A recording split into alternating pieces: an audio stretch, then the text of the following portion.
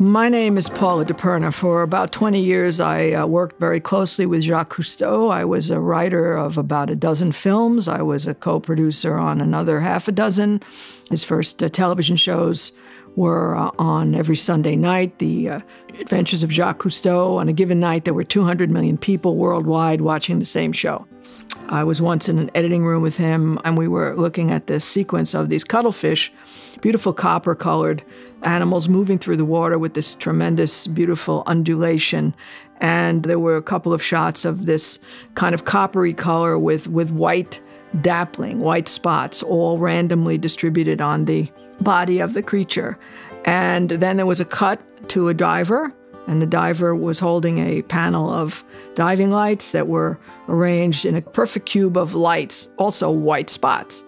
Cut back to the cuttlefish, and now the white spots on the cuttlefish that had been randomly distributed were now in a row, in a potential or what looked like a mimicry of the diver. So I looked at this and I said to Cousteau, What is going on? And he said, Well, you know, cuttlefish, they have these um, cells on their skin. They're called photophores, light cells, and they move them around for various purposes uh, to show off, to attract a mate. And I said, Yeah, okay, great, but what does it mean? And he said, My dear Paula, what it means is the people who believe in God have as many reasons as the people who don't.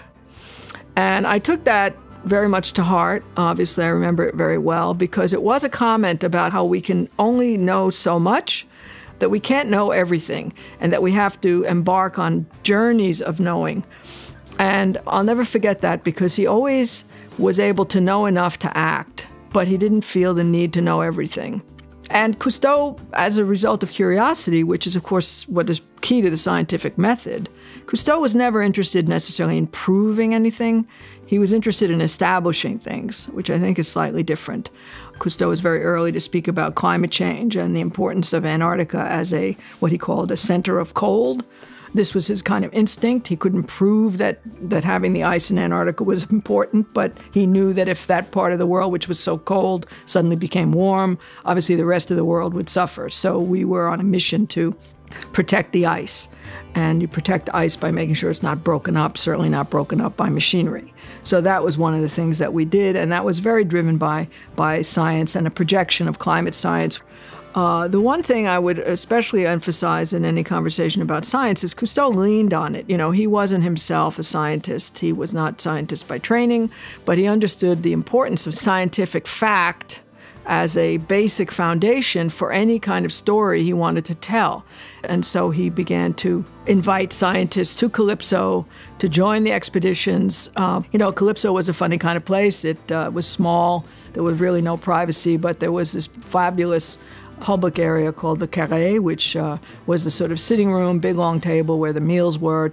You know, it was quite a thrill to um, to be there. What I learned is, you know, certain things that you live through while you're living through them seem kind of ordinary, and it's only in retrospect that you realize that they were extraordinary.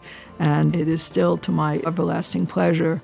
Almost every day, I can think of something that was extraordinary that I did while working for Cousteau, and he really was a unique character. And I don't think there's anyone since who's been able to captivate the public in the same way on those issues.